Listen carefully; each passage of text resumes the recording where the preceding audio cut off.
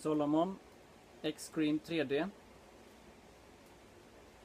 En eh, traditionell löparsko från Solomon för väg, grusväg, parker etc. Eh, 10 minuters dropp, ganska mycket dämpning, den är relativt styv. Och, eh, det är eh, väl Solomons svar till eh, de traditionella löparskomärkena. Kan också hyra en sko som fungerar på väg. Quick Lace.